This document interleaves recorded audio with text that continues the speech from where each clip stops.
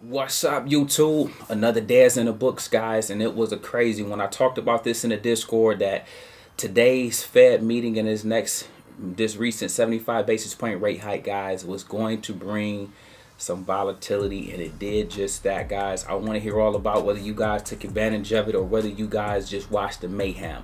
But with that being said, guys, check it out. We have earnings still on deck. Okay, so today we kicked it off after hours. We had Roku reporting they plummeted due to poor guidance. But focus on tomorrow, guys, to kick off the morning. I want you guys to pay attention to both ConocoPhillips as well as Moderna. Okay, those will be two to just keep your eye on, see how they do, see how the market reacts to how they report. And then, guys, in after hours, we have PayPal as well as Coinbase and of course block or otherwise known as square will be reporting as well just to kind of see what fintech is talking about all right? Pay attention to those closely because we have close ties to some of those plays all right? We just want to see how the market responds and how the stock reacts all right? With that being said guys let's go ahead and take a look at one of the family members guys. Charles sent me this. He talked about having a good morning with apple. He did a put at market open, got in and got out for a hundred dollars, and then he seen Apple was continuing to fall and he hopped back in with two contracts. Guys, I love this. And I love this for a multitude of reasons, okay? When you guys get in this game, okay, and when you fully immerse yourself and embrace all that comes with it, there will be opportunities sometimes that you can run right back to in your plays. Whether you caught Apple running up today when the Fed was speaking, or whether, like in Charles' case, he bought a put, got his and made his money, and then he saw, oh, I made my money, but the stock is continuing to go down.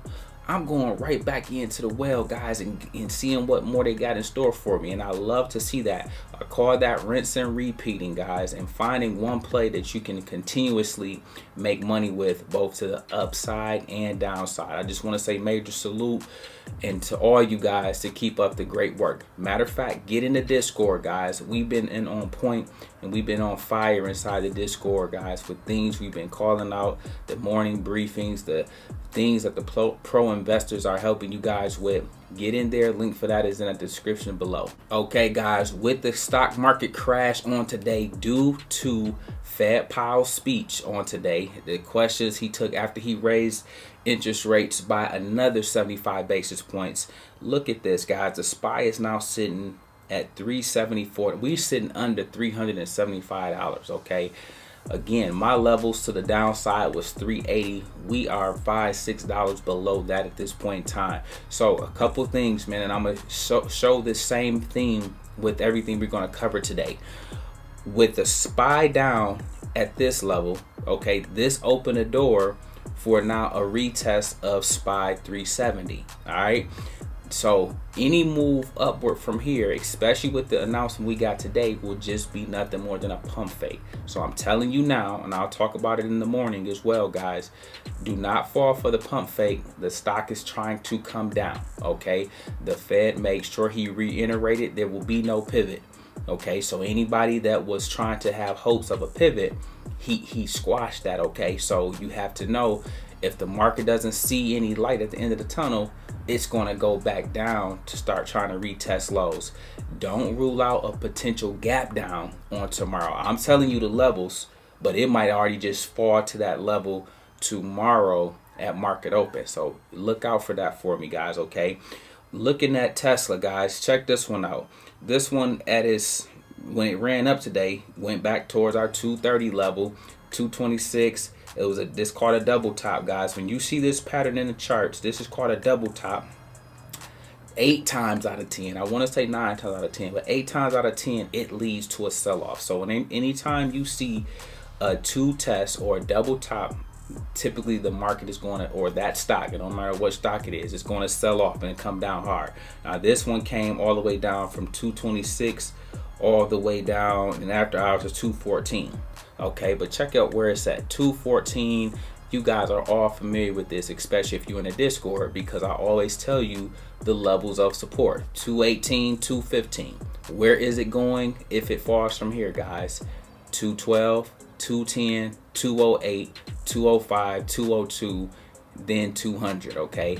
Again, it may gap down and wipe out some of those levels. So I want you guys to be mindful of that. And remember, any upward move, now that we got this Fed meeting out and this rate hike put on us, is a pump fake, okay? You have to know that. So if you're gonna ride anything up, I need you to be in and out. Or you just let it go up, knowing, like Chris just showed us a two a double top, that mean it's going to come down or it's going to just be a natural pump fake because now the market is going to want to be coming down to retest some of these support levels and some of these previous made lows okay but listen really quickly because i'm gonna say this i'm gonna reiterate this a lot we are getting close to buy zones I like Tesla at 200 or below. 200, 180, and 140 is what I'll be looking for. Not saying that stuff is coming this week, but I'm just letting you know it's getting close to those levels again when you start to see the stock fall five, six percent in a day. Okay, and then look at this, guys. Apple ticker symbol AAPL.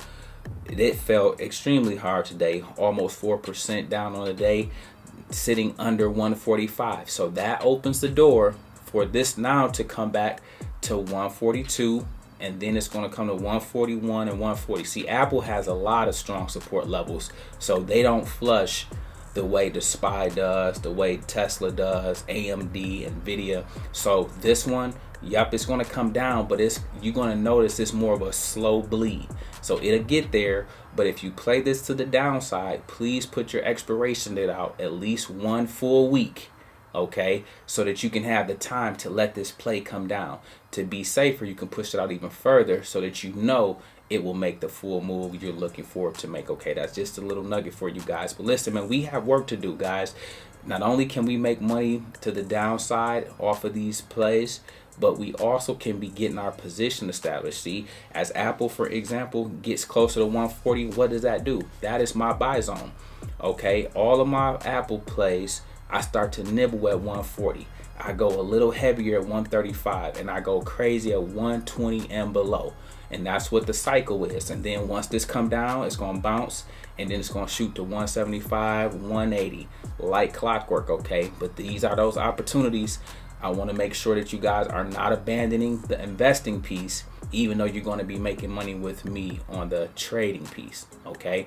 With that being said, guys, listen, it's been a crazy day in the market. Okay. And so I want you to digest it all, take in everything you see, but be ready to make moves based on these new pieces of intel we have now. Okay. We got the 75 basis point rate hike, guys. We have the Fed commentary out the way. So now the market is going to make its next move, okay? Look for some pops to the upside, but for them to be sold off. It's called selling the rips, okay? And then the market will kind of try to grind down lower, but be patient. Don't just run in blindly. Don't just don't front run the plays. React to what you see okay? You still got to be surgical in this game all right? With that being said guys listen we make videos like this every day. So if you like this one make sure you check out the next one. Remember most people see the end result. Very few consider the journey. So do me a favor. Don't forget to like subscribe to the channel. Make sure you guys grab some free stock. Using my link below. And i'll catch you guys in the next one peace